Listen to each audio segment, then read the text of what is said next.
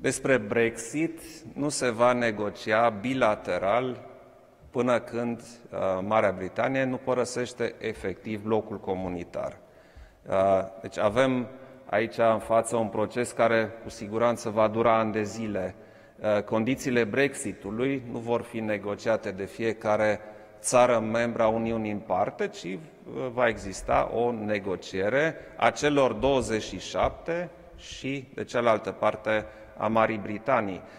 Uh, pentru noi sunt o serie de chestiuni unde nu suntem dispuși să facem uh, compromisuri.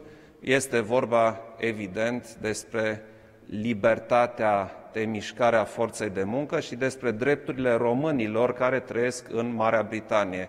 Aceste chestiuni sunt foarte sensibile pentru noi și vom avea foarte mare grijă ce se discută în aceste chestiuni.